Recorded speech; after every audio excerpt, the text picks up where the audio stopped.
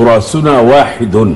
التراث العربي بالذات من بين التراثات الإنسانية تراث واحد. ولذلك أنا أفضل الموروث. الموروث. الموروث.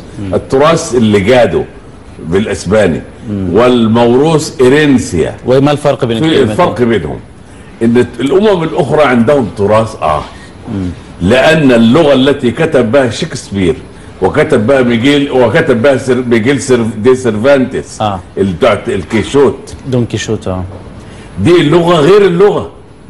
إنما أنا أقرأ في ثقافه الأدب الجاهلي والإسلامي والأموي. وكل شيء وأقرأه بنفس الحروف. إنما الآخر عليه أن يترجم هذا الأدب من لغته إلى لغة أخرى معاصرة. آه. الإسباني العادي. اختلاف اختلاف كبير جدا. تماما. آه. الإسباني العادي لا يستطيع أن يقرأ دون كيشوت.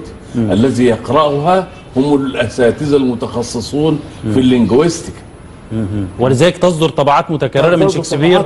حسب كل تطور اللغة. صعب اللغة. simplified أو بترجموه. آه. شكسبير الذي يترجم الآن هو لغة مترجمة أخرى عن الإنجليزية.